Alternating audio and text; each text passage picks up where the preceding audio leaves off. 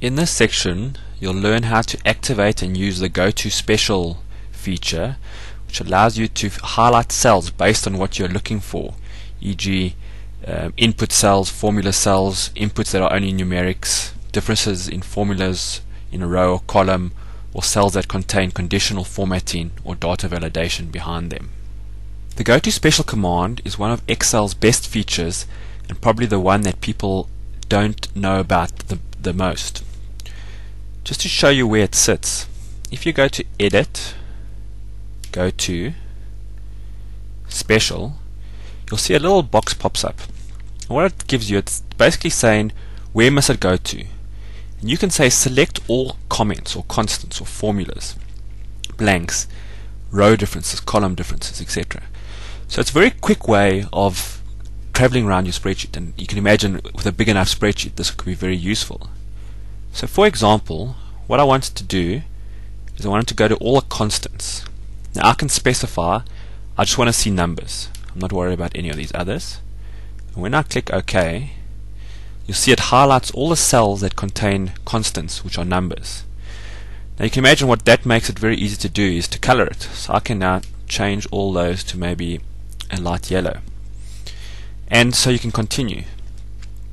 Again, remember, if you've got a section highlighted, it'll only look within that section. If you have one cell clicked, it'll look through the whole section. So we can go go to special, and I can say now I'm looking for formulas that have numbers in them. We say OK. You'll see it highlights all the formulas. So you can see that this is the manual way of doing what Spreadsheet Professional does in its Painter. You can navigate across the sheets. There are a number of other useful features, however, in that in this feature. So let's say we've got a, a big spreadsheet, and all over you can see these little red flags, which are comments, which are included. Now this is an old spreadsheet. We want to get rid of those because they're relevant to prior projects. You can work through your entire spreadsheet to try and find them, or you can click on the comments and say OK, and you'll see it'll just highlight all the cells that have got the comments in them you can go to edit clear comments and you can do it extremely quickly. One other very useful features is the ability to actually see what is different about a row or column. So if you highlight for example this row here and you go edit go to special you can look up here and say tell me what in this row is different. And the way it works is it says that's the first formula. In which cells are different to that first formula? And we click OK. And it points out that every single cell after that is different. So we can look at the formula and say okay there's that formula. We know what that's doing. The next formula and presumably all the others after that does something different. And you'll see yes there's a, a new formula there. But let's now look at that section there and see which of the formulas are different. So edit, go to special. We're again looking at row differences. And what it's going to say is this formula is here. Which of these are not an exact copy across? And you click OK. And it points out that that cell there is not the same as all the other cells. Just to prove it, this cell would look there. The cell pointed out is over there, and it's got a different calculation in it. As you can see, this is the manual process of doing the maps in Spreadsheet Professional, where you'd need to go through each single row or column to actually identify differences. Another useful feature of the Go to Special is to find cells that have got um, programming sitting behind them. So if we say Go to Special, we can look for two areas, conditional formats and data validation. They're not obvious to spot in the spreadsheet itself. So let's look for all data validation cells. If you click OK, it points out that there are two cells that appear to have data validation in it. For review purposes, what you might want to do is just change the color and then go look there and say, okay, what validation is sitting here? It's a tax rate. Okay, validation has put in that it can't be more than 100%.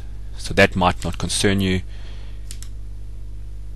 You can go there and see the same thing. This the inflation rate cannot be more than 20%. And that may or may not concern you. But what is important to understand is the ability to navigate through your spreadsheet quickly and easily. Just to run through all the options that exist with GoToSpecial,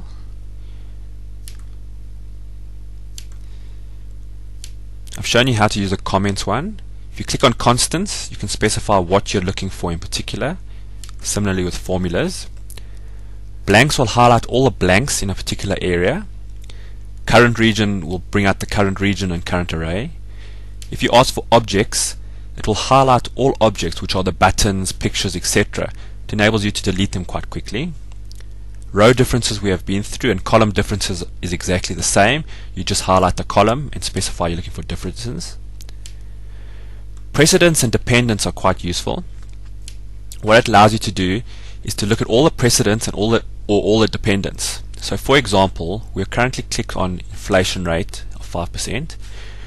We want to know the dependents, what other cells are relying on it. Let's first look at the direct only, and if you click OK, it will highlight the cells that rely on that cell, and you can see immediately that one is missing. Alternatively, you can look for dependents to all levels. So tell me all the cells that directly or indirectly refer to that cell. Click OK, and you'll see it highlights all the cells, which is quite a, a useful feature. This the problem with this tool is that it only looks at the current sheet. So unlike the auditing toolbar where it will warn you if it's been used in other sheets, this one doesn't do that. So that's a dependence, and you can do exactly the same with the precedents. Last cell will tell you what is the actual last cell in a spreadsheet, which is useful to find stray sheets. Visible cells shows only the unhidden cells. And I've shown you conditional formatting and data validation.